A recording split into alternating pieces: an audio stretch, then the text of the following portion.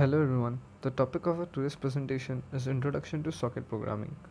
My name is Shivam Joshi and my fellow members are Shashank Mal and Shreyas Chaudhary. So to begin with it, let's start with the introduction of socket programming. A socket is a mechanism for allowing communication between processes, be it programs running on the same machine or different computers connected on a network. More specifically, internet sockets provide a programming interface to the network protocol stack that is managed by the operating system. So, what is meant by socket programming? A socket is one endpoint of a two way communication link between two programs running on the network. A socket is bound to a port number so that the TCP layer can identify the application that data is destined to be sent to.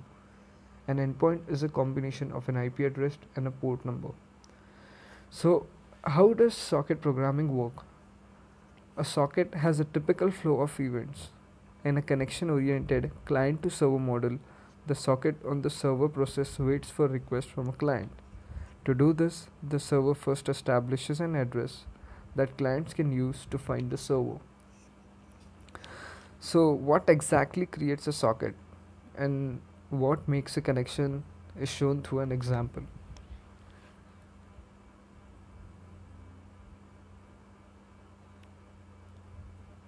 So why do we need socket programming? A Unix socket is used in a client server application framework. A server is a process that performs some function on request from a client.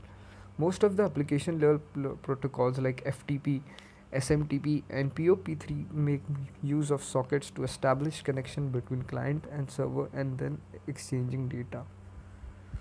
So this is the flowchart or what we can say or a tabular form of how socket programming works.